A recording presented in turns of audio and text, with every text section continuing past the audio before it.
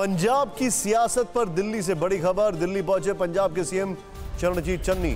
कुलजीत नागरा और अवनीत सिंह बिट्टू भी चन्नी के साथ। नए पंजाब कांग्रेस अध्यक्ष के नाम का ऐलान संभव, सूत्रों के हवाले से खबर। अमित शाह से भी मुलाकात करेंगे सीएम चरणजीत चन्नी।